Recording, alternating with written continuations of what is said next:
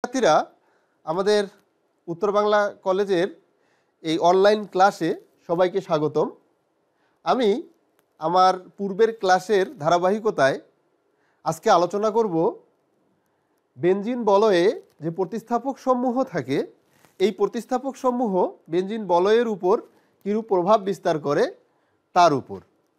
তো আমরা দেখি বেঞ্জিন বলয়ে যে প্রতিস্থাপক সমূহ থাকে, সেই প্রতিস্থাপক সমূহ হলো আমি এইখানে লিখছি হচ্ছে যে অ্যালকাইল মূলক হিসেবে মিথাইল মূলক থাকতে পারে হচ্ছে ক্লোরিন, থাকতে পারে হচ্ছে হাইড্রোক্সি মূলক এবং হচ্ছে যে অ্যামিনো মূলক তো এই মূলক সমূহ যখন কোনো বেঞ্জিন বলয়ে উপস্থিত থাকে, তখন যে যৌগসমূহ আসে, সে যৌগসমূহের নাম কিন্তু আমাদের পরিবর্তন হয় এবং এই মূলকসমূহের নামের সাথে তার যে প্রভাব আছে বলয়ের উপরে, সেই প্রভাবটারও পরিবর্তন আসে, আমরা লক্ষ্য করব। তো এই বেনজিন বলয়ে দুই রকমের প্রভাবক উপস্থিত থাকে। এক শ্রেণির যে প্রভাবক আছে, এরা হচ্ছে, আমি এইখানটাতে হচ্ছে মার্ক করে রাখছি, এই শ্রেণি এবং হচ্ছে যে দ্বিতীয় শ্রেণি হচ্ছে এই শ্রেণি। এই দুই শ্রেণির মধ্যে প্রথম শ্রেণির যে প্রতিস্থাপক আছে, আমরা এই প্রতিস্থাপক সমূহকে বলয় সক্রিয়কারী মূলক হিসেবে চিহ্নিত করি। এরা হচ্ছে বলয় সক্রিয়কারী মূলক। আবার কিছু মূলক আছে যে মূলক সমূহ বেঞ্জিন বলয় থেকে ইলেকট্রন নিজের দিকে আকর্ষণ করে এবং বেঞ্জিন বলয়ে যে ইলেকট্রনের ঘনত্ব আছে সেই ঘনত্বটা হ্রাস করে। এই মূলক সমূহকে আমরা হচ্ছে বলি বলয় নিষ্ক্রিয়কারী মূলক। তো শিক্ষার্থীরা, আমরা যদি লক্ষ্য করি, তাহলে দেখব হচ্ছে বেঞ্জিন বলয় সক্রিয়কারী মূলকসমূহের মধ্যে কার্বন বেঞ্জিনের সাথে যেমন সরাসরি যুক্ত থাকে, এই যে বেঞ্জিনের সাথে সরাসরি যুক্ত থাকে যৌগ গঠন করে, আবার নিষ্ক্রিয়কারী মূলক সমূহের ক্ষেত্রে আমরা যদি লক্ষ্য করি, তাহলে দেখব হচ্ছে যে টলুইনের ক্ষেত্রে কার্বন বেঞ্জিন বলয়ের সাথে সরাসরি যুক্ত, আবার বেঞ্জালডিহাইডের ক্ষেত্রেও এই কার্যকরী মূলক কার্বনের মাধ্যমে বেঞ্জিন বলয়ের সাথে যুক্ত থাকে।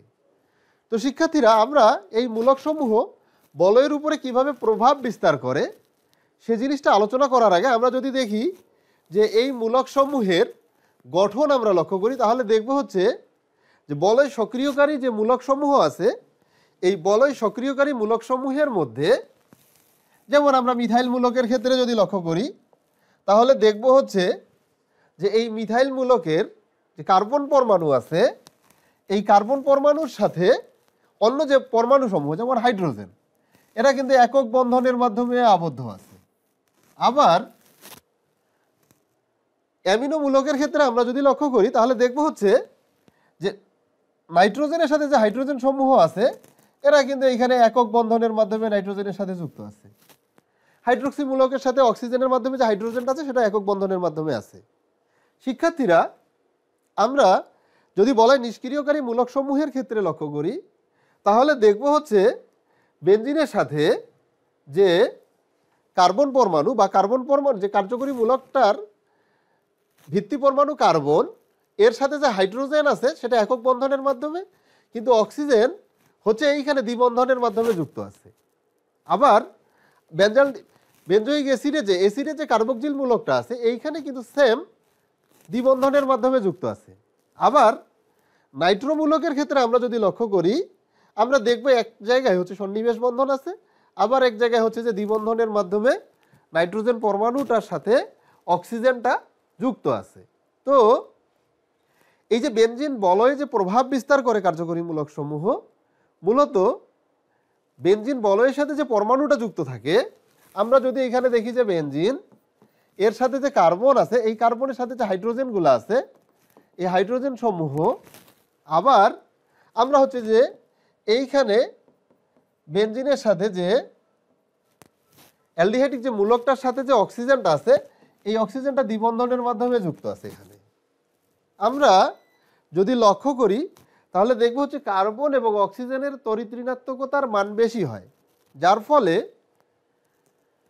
অক্সিজেন কার্বন পরমাণু থেকে ইলেকট্রনটা নিজের দিকে আকর্ষণ করে বা দ্বিবন্ধন থেকে ইলেকট্রনটা যখন নিজের দিকে টানে, তখন কার্বনের যে ইলেকট্রনের ঘাটতি আসে কার্বন এই ঘাটতিটা পূরণের জন্য বেঞ্জিন বলয় থেকে ইলেকট্রনটাকে নিজের দিকে টানে। যার ফলে এই মূলকসমূহ নিষ্ক্রিয়কারী মূলক হিসেবে এবং আমাদের এই গ্রুপ বা এই গ্রুপে যে মৌলসমূহ আছে, এই মৌলসমূহ হচ্ছে বেঞ্জিন বলয় সক্রিয়কারী মূলক হিসেবে কাজ করে। তো শিক্ষার্থীরা, আমি হচ্ছে এখন তোমাদের যে জিনিসটা দেখাবো সেটা হলো আমাদের এই যে বেঞ্জিন বলয় যে আছে, এই বেঞ্জিন বলয়ের যে প্রতিস্থাপক সমূহ আছে, আমরা যদি এই জায়গায় লক্ষ্য করি বা বেঞ্জিন বলয়টা আমরা যদি দেখি, তাহলে আমরা দেখব বেঞ্জিনের সাথে যে প্রথম প্রতিস্থাপকটা যে জায়গায় থাকে, আমরা সেই জায়গার কার্বনটাকে কিন্তু এক নম্বর কার্বন হিসেবে কাউন্ট করি, এক নম্বর কার্বন। এর সাপেক্ষে আমরা দেখি হচ্ছে যে বেঞ্জিনে কার্বন হচ্ছে এক, দুই, ধারাবাহিকভাবে ছয়টা কার্বন পরমাণু থাকে। এই কার্বন পরমাণু সমূহের মধ্যে আমরা যদি দ্বিবন্ধন লক্ষ্য করি, তাহলে আমরা দেখব হচ্ছে প্রথম যে দ্বিবন্ধনটা থাকে, এটা হচ্ছে এক এবং দুই নাম্বার কার্বন পরমাণুর মধ্যে। দ্বিতীয়টা হচ্ছে তিন, চার, চতুর্থটা হচ্ছে পাঁচ, ছয়, এভাবে থাকে। তো এটা এই দ্বিবন্ধন সমূহ কিন্তু হচ্ছে যে সঞ্চারণশীল এরা এক জায়গা থেকে আরেক জায়গায় মুভ করতে পারে। যখন এরা স্থান পরিবর্তন করে, তখন এদের অবস্থান, দুই কার্বন পরমাণুর অবস্থানের পরিবর্তন হয়। আমরা লক্ষ্য করলে দেখব হচ্ছে এখানে যেমন এক এবং দুই নাম্বারের মধ্যে ছিল দ্বিবন্ধনটা পরের বন্ধনেই কিন্তু আবার চেঞ্জ। আমরা এটা দেখতেছি হচ্ছে যে দুই এবং তিন নাম্বারে চলে আসছে। এই যে দুই এবং তিন নাম্বার কার্বন পরমাণুর মধ্যে আছে। আবার তিন চারেরটা চলে আসছে হচ্ছে চার পাঁচের মধ্যে। তো এভাবে বন্ধনটা সঞ্চারণশীল থাকার ফলে এরা সার্বিক একটা বন্ধন গঠন করে। এইটাকে আমরা বলি হচ্ছে যে বেঞ্জিন রিং। বেঞ্জিন বলয়ে যখন ইলেকট্রন সঞ্চারণশীল ইলেকট্রনগুলো আছে, এরা রিং হিসেবে থাকে। তো আমরা যে সক্রিয়কারী এবং নিষ্ক্রিয়কারী মূলক বললাম, আজকে আমি একটা মূলকের শুধু আলোচনা করব। সক্রিয়কারী মূলক হিসেবে বেঞ্জিন বলয়ে এটা কীভাবে প্রভাব বিস্তার করে। তো শিক্ষার্থীরা, এখানে লক্ষ্য করো, দেখো, আমি হচ্ছে ফ্যানলের যে ডায়াগ্রামটা আছে বা রেজোনেন্স চিত্র আলোচনা করব এখন, এ ধারাবাহিক পরিবর্তনটা আলোচনা করব। তো এই রেজোনেন্সে দুইটা জিনিস গুরুত্বপূর্ণ। এক হচ্ছে এখানে যদি মুক্তজোর ইলেকট্রন থাকে, এই রেজোনেন্স কাঠামোতে মুক্তজোর ইলেকট্রন ভূমিকা রাখে বা প্রভাব বিস্তার করে, বা হচ্ছে কখনো কখনো বন্ধনের সাথে যে হাইড্রোজেন আছে, এই হাইড্রোজেনটা বেঞ্জিন বলয়ের দিকে ঠেলে দেয়। তখন রেজোনেন্স শুরু হয় বেঞ্জিনের অনুরণন বা রেজোনেন্সটা শুরু হয়। তা আমরা সেটা দেখব এখন। এই রেজোনেন্সে ইলেকট্রন যে ধাপান্তর বা স্থানান্তর হয়, এটা হচ্ছে যে দুইভাবে হতে পারে। এক হচ্ছে পরমাণু থেকে পরমাণুতে, পরমাণু টু পরমাণু, বা পরমাণু থেকে বন্ধন, পরমাণু থেকে বন্ধনে যেতে পারে, বা বন্ধন থেকে বন্ধনে। বন্ধন থেকে বন্ধন। এইভাবে এটা ধাপান্তরটা হয়। তো শিক্ষার্থীরা, আমি এইখানে এখন যে জিনিসটা আলোচনা করব, যে হচ্ছে যে দ্বিবন্ধনে এটা কি রেজোনেন্স কাঠামোটাতে কীভাবে আসতেছে, এখানে লক্ষ্য করো হাইড্রোক্সি মূলকের যে এই যে মুক্তজর ইলেকট্রনটা যে আছে, এই মুক্তজর ইলেকট্রনটা হচ্ছে এটা বেঞ্জিন বলয়ের দিকে ঠেলে দেয়। এর ফলে বেঞ্জিন বলয়ের ইলেকট্রন ঘনত্ব বৃদ্ধি পায়। এবং এইখানে আমি বললাম যে এটা যদি পরমাণু থেকে বন্ধনে আসে, তখন একটা দ্বিবন্ধন সৃষ্টি হয়। পরমাণু থেকে বন্ধনে আসলে, পরমাণু থেকে যদি বন্ধনে আসে, তাহলে নতুন দ্বিবন্ধন তৈরি হবে। অর্থাৎ এখানে কিন্তু পরমাণু থেকে বন্ধনের দিকে আসছে। তাহলে এইখানে একটা দ্বিবন্ধন তৈরি হবে। এবং যে পরমাণুটা থেকে আসে, সেই পরমাণুটা হচ্ছে ধনাত্মক চার্জে চার্জিত হবে। এই যে কার্বন পরমাণু আছে, যখন রেজোনেন্স শুরু হয়, একটা বন্ধন যখন নতুন বন্ধন গঠন করে, তখন হচ্ছে যে কার্বনের যোজনী চারের বেশি যেহেতু হয় না, সেহেতু আমাদের এই বন্ধনটা আবার একই সাথে বন্ধন থেকে পরমাণুতে চলে আসবে। বন্ধন থেকে পরমাণুতে আসবে। তো বন্ধন থেকে যখন পরমাণুতে আসবে যদি এই কাজটা হয়, আমাদের যেমন আমরা বললাম পরমাণু থেকে বন্ধনে আসলে দ্বিবন্ধন হয়, অনুরূপ বন্ধন থেকে যদি পরমাণুতে আসে, তাহলে হচ্ছে যে এইখানে হচ্ছে ঋণাত্মক চার্জ তৈরি করে। তাহলে আমাদের এই পরমাণুটাতে এই কার্বন, দুই নাম্বার কার্বনে ঋণাত্মক চার্জের সৃষ্টি হবে, অর্থাৎ রেজোনেন্স শুরু। এরপরে আমরা যদি দেখি, পরের যে ডায়াগ্রামে কি হবে এখন? এই যে পরমাণু বা যে ঋণাত্মক চার্জটা আছে, এই চার্জটা যখন আরেকটা বন্ধনের দিকে আসবে। এবং হচ্ছে যখন এইখানে বন্ধনে আসবে, তখন নতুন বন্ধন সৃষ্টি হবে। একই সাথে আমাদের আগের যে পূর্বের যে ডায়াগ্রাম ছিল, সেটা কিন্তু ঠিক থাকবে। দ্বিবন্ধন এবং ধনাত্মক চার্জ ঠিক থাকল। নতুন ডায়াগ্রামে আমরা দেখলাম হচ্ছে যে বন্ধনে চলে আসলো, নতুন বন্ধন গঠন করল এবং একই সময় বন্ধনটা বিভাজন হয় পরমাণুতে আসবে। তাহলে বন্ধন বিভাজন করে যখন পরমাণুতে আসবে এইখানে কিন্তু একটা ঋণাত্মক চার্জের সৃষ্টি হবে। তো শিক্ষার্থীরা, দেখো, এই যে রেজোনেন্সের এর পরের অংশে আবার এই ডায়াগ্রামের বন্ধন, এই ইলেকট্রনটা আবার বন্ধনে চলে যাবে। একই সময়ে বন্ধনের ইলেকট্রনটা আবার হচ্ছে যে পরমাণুতে চলে যাবে। তখন আমরা নতুন যে ডায়াগ্রামটা পাবো, এটা আমাদের পূর্বেরটা, এটা আমাদের চেঞ্জ হয়ে আসছে একবার। এর পরের যেটা আসবে, সেটাতে আমরা দেখব হচ্ছে যে নতুন এখানে দ্বিবন্ধন গঠন করবে এবং এই পরমাণুটাতে আরেকটা ঋণাত্মক চার্জ সৃষ্টি হবে। এই একই জায়গায় আমরা যদি লক্ষ্য করি, তাহলে দেখব হচ্ছে যে এই ঋণাত্মক চার্জটা আবার হচ্ছে যে বন্ধনের দিকে ফিরে আসবে এবং অক্সিজেন যে ইলেকট্রনটা হচ্ছে যে বলয়ের দিকে ঠেলে দিচ্ছে, এটা আবার সে নিজের দিকে টেনে নেবে। তখন ফাইনালি আমরা যে জিনিসটা পাবো সেটা হলো যে পূর্বের ডায়াগ্রামটা আবার ফিরে আসবে। এই যে আমাদের হচ্ছে যে ওএইচ চলে আসলো এখানে। অক্সিজেনের মুক্ত ইলেকট্রন আবার অক্সিজেনের কাছে ফিরে আসলো।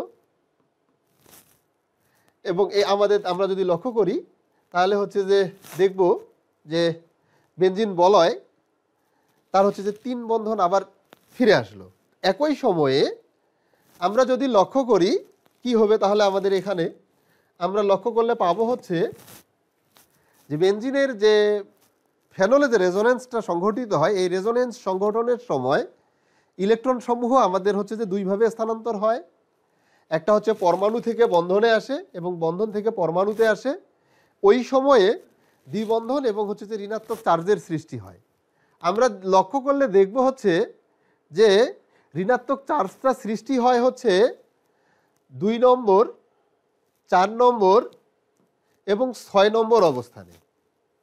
এই অবস্থানগুলোতে হচ্ছে আমাদের ঋণাত্মক চার্জের তৈরি করে। বেঞ্জিন বলয়ের রেজোনেন্সের পর। এবং ওই একই ডায়াগ্রামে আমরা যদি লক্ষ্য করি, তাহলে বেঞ্জিন বলয় যে আছে, এই বেঞ্জিন বলয়ের তিন নাম্বার এবং পাঁচ নাম্বার অবস্থানে চার্জের কোনোরূপ পরিবর্তন হয় না, অর্থাৎ চার্জ নিরপেক্ষ অবস্থায় থাকে। তো শিক্ষার্থীরা, এই যে আমাদের দুই, চার, ছয় অবস্থানে আসলো, যখন এরকমভাবে আসে, তখন আমরা সেটাকে ওই দুই, চার, ছয় অবস্থানের উপর ভিত্তি করে এটাকে আমরা হচ্ছে অর্থ প্যারা অবস্থান বলি এবং আমরা লক্ষ্য করি অর্থ প্যারা অবস্থানে ঋণাত্মক চার্জ এবং মেটা অবস্থানটা চার্জ নিরপেক্ষ অবস্থায় থাকে। তা আমি হচ্ছে আমার পরবর্তী ক্লাসে এই জিনিসটা আলোচনা করব যে বেঞ্জিন বলয় যে সক্রিয়কারী মূলকটা আছে, এই মূলকটা কিন্তু অর্থ প্যারা নির্দেশক হিসেবে কাজ করে। অর্থাৎ দ্বিতীয় যে প্রতিস্থাপক সমূহ আসবে, এই দ্বিতীয় প্রতিস্থাপক সমূহ আমাদের যে দুই চার ছয় অবস্থান যে আছে, এই দুই চার ছয় অবস্থানে যুক্ত হবে। তো আশা করছি তোমাদের হচ্ছে যে এই ক্লাস ভালো লাগল এবং পরবর্তী ক্লাসে আমি হচ্ছে যে নিষ্ক্রিয়কারী মূলক এবং সক্রিয়কারী মূলকের আরও আলোচনা করব। সেই পর্যন্ত তোমরা ভালো থাকবা। এই আশা ব্যক্ত করে আজকে আমি আমার ক্লাস এখানেই শেষ করছি। সবাইকে ধন্যবাদ।